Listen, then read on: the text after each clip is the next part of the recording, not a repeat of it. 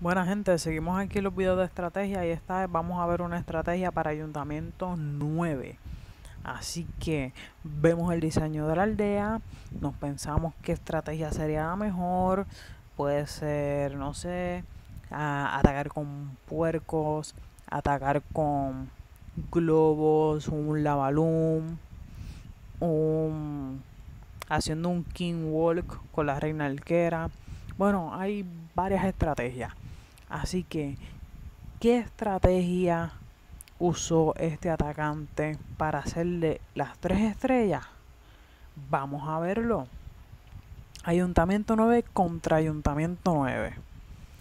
Como ven, en ese momento no se saben dónde están las trampas, no se sabe nada. Y nos vamos con un Go Wipe.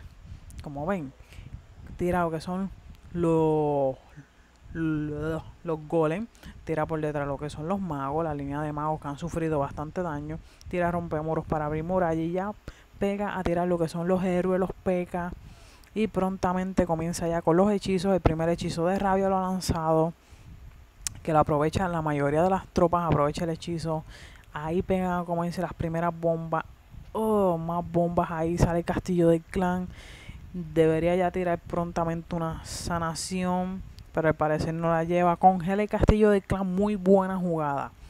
Tira lo que es el, el salto para que las tropas lleguen al centro. Lo consigue. La reina Alquera está al tope de vida. El rey está a punto de morir. El rey ha muerto. Segunda sanación para salir, o más bien segundo salto para salir del centro de la aldea.